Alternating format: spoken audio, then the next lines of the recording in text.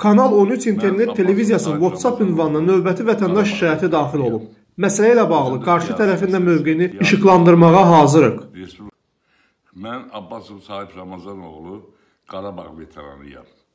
Özüm də dializ xəstəsiyəm. Dializə alınan Respublika Klinik Xəstəxanasının nəzdində olan dializ şöbəsində. Həm də bir tərəfim paralizdir. Bu sağ tərəfim paralizi, qıçım zadım işləmir. Hə.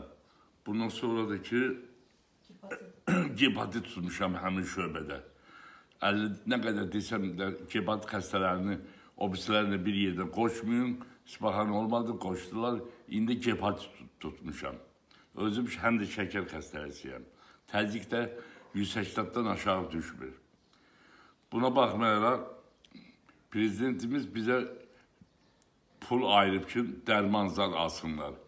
Amma dərmanları innovasiya mərkəzi bizə dərmanların elə bir, elə dərman olur 2 gün görür. Elə dərman olur 5 gün, elə 15 gündən artıq görmür. 15 günü mənimsəyirlər. Dərmanları öz cibimizin pulundan alırıq. Gör nə yerə qalıb ki, bit vermirlər bizə. Əlcək vermirlər bizə. Lekaplaster yaranın üstünə yapışdırırsan, onu vermirlər bizə. Gedirik böyürdəki aptekdən alıb gətiririk. Heç vecidən alan yoxdur bizi. Dəfələrlə ərizə yazmışıq Səhiyyə Nazirliyinə, Prezident aparatına. Heç bahan yoxdur. Yoxlama da gələndə arxa qapıdan salırlar, arxa qapıdan da çıxıb gedirlər.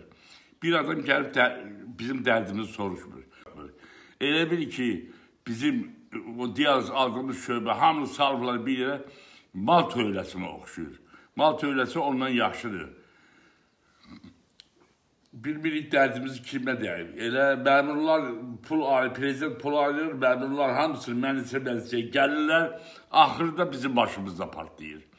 Bir baxan yoxdur, bir deyən yoxdur, amma bu ölümə məhkum olmuş bu xəstələr dərmanları nə inirsiniz, niyə yeyirsiniz siz, niyə xərcləyirsiniz, niyə o balalarınıza maşın alırsınız onun pulundan. Heç kim baxmır bunu, qalmış ortalıqda. İndi bunu deyirəm ki, Əziz yazmağın xeyri yoxdur. Yazırsan Səyyar Nazirindən xəstəxanan baş həkimi Telman ərizəni nə inirlər, nə ayrılır bilmək olmur. Gəlib soruşan da olmur. Və salam. Qutarma, bağlama hələ.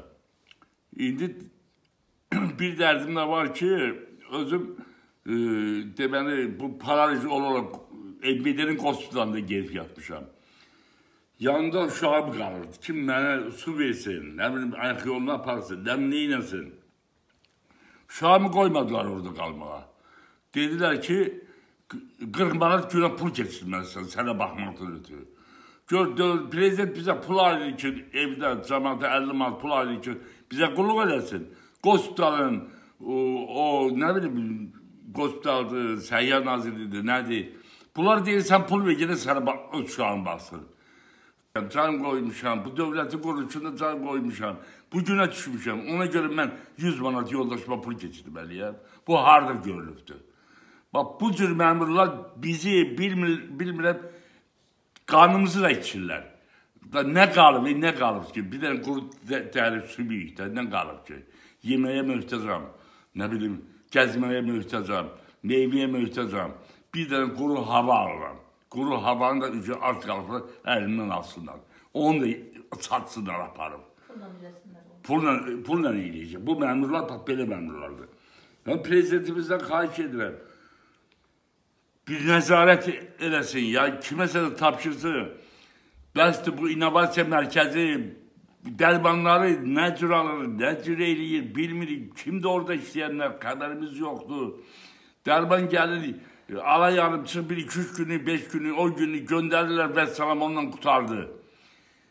Yazık şöbe müdürüne deyir ki, bizim derman ol deyir ben neyini bakım, ne verirler onu da veririm. İnovasiya merkezine sen geliyor, deyir ki ben dermanlar vermişim. E, yalanla, hamısı yalanla. Yaxşı, bu şöbe müdürü dərir ki, bint satsın, əlcəyi satsın, xəstələr də onun üstə düşsün. Tibb bacıları ortalıqda qalıbdılar. Yazılar birinin bir e, şey təzyiqi aşağı düşəndə başlayırlar xəstələrdən dərman dilənməyə. Halbuki o dərmanın qiyməti 200 qəpikdir.